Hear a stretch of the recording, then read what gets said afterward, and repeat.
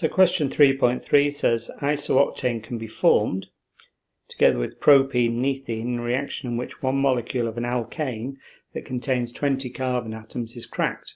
So cracking means that you've got a long chain breaking into shorter chains. So if we've got an alkane with 20 carbons, it's C20. An alkane, so if it's got single bonds, then you double the 20 and add 2. So that becomes 42, so it's C20H42. We've got the formula of isooctane, which is C8H18. We'll know propene is prop is 3, so it's C3. Ene means it's got double bonds, so you just double that, it's CnH2n, so that's C3H6. And then we've got ethene, which is C2H4, so CnH2n again, so the two carbons become 4.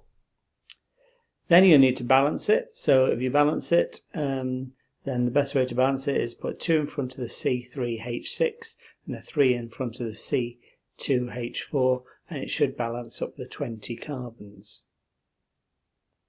How do products of the reaction show that a reaction is thermal cracking?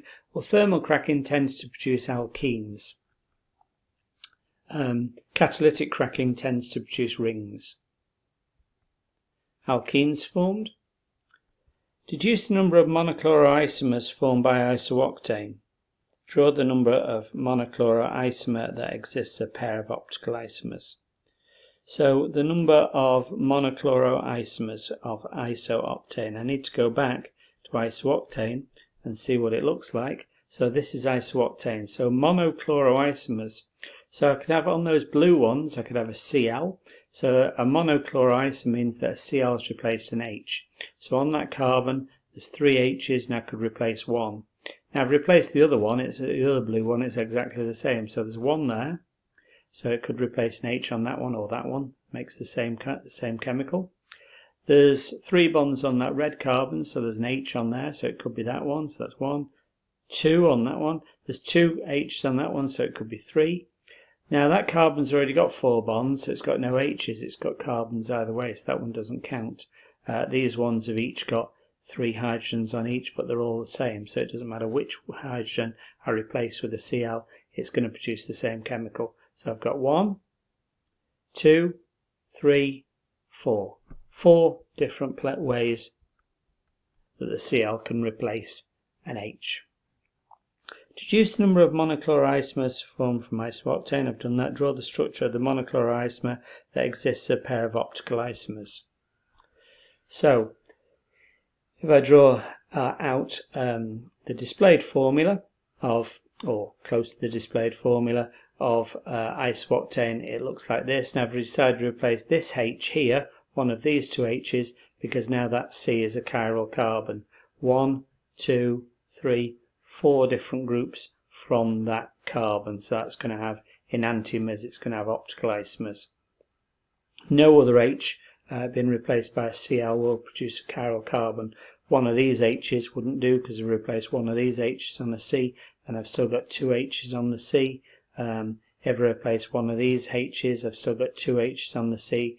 If I replace this H, I've got two methyl groups still on the C. So there's only that H there, or that one there. You could have the one above it, both the same. Either one of these H's replaced with a Cl is going to give a pair of optical isomers. So these are going to have enantiomers mirror images that rotate plane polarized light in different directions. In opposite directions. Right. The isomer of isooctane reacts with chlorine to form only one monochloro compound.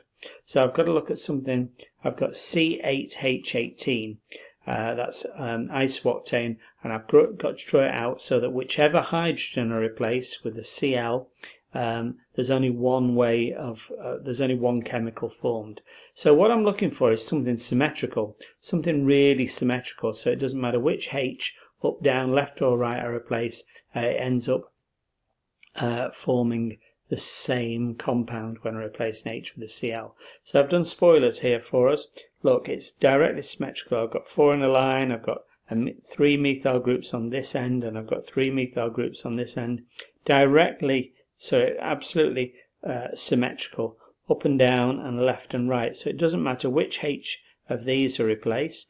and that methyl group is the same as this methyl group, which is the same as this methyl group, and it's symmetrical left and right, so this methyl group same as this one, same as this one. So all those H's are all uh, in the same environment. They're all sort of equivalent to each other. So it doesn't matter which H I replace, I'm going to end up with the same um, monochloroisomer.